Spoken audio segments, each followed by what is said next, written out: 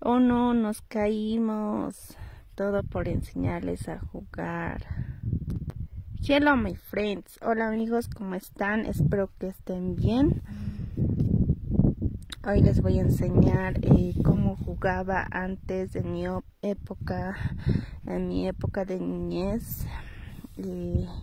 tomábamos un pendiente o buscábamos una bajada así de tierra y empezábamos a resbalar pero ahora estamos resbalando con una botella.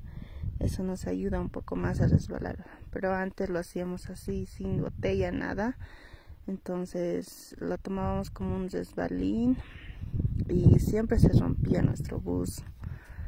Y mamá siempre nos reñía porque los porque rompen entonces eh, ya que no había no íbamos a la ciudad en hacer compras. Y ahí casi nos caímos y así que estamos enseñando a Pinochet y a Bachelet a jugar. Em, no importa los, eh, los juguetes de lujo, los celulares. Aquí em, tienes que jugar con lo que tengas, ¿no? Así, así sea con piedras, con tierra. La cosa es divertirse y que jueguen y que, que les despierte también más ideas a ellos, ¿no? Entonces ahí estamos enseñando a Pinochet cómo puede resbalar. Ah, y siempre tener cuidado también, ¿no? Que esté supervisando una persona mayor o alguien, porque también puede caerse, puede empezar a rodarse. Así que es, por eso está, estamos jugando. Y aquí Pinochet aprovecha como siempre a jugar con la tierra. Y ahí está, está empapando todo con la tierra.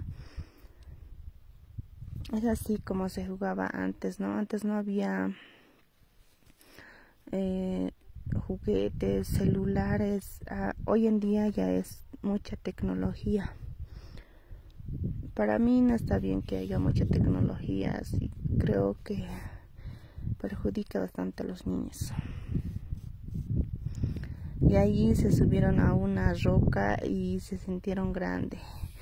Aquí es unas rocas. Em, le dije que a Bachelete puede tomarlo como una moto, nosotros tomábamos como una moto, como una movilidad así.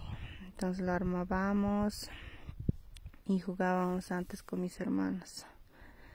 Y Bachelet en su imaginación pensando que está en una moto. Así así jugamos en, el día, así que es un día cansado, jugamos bastante.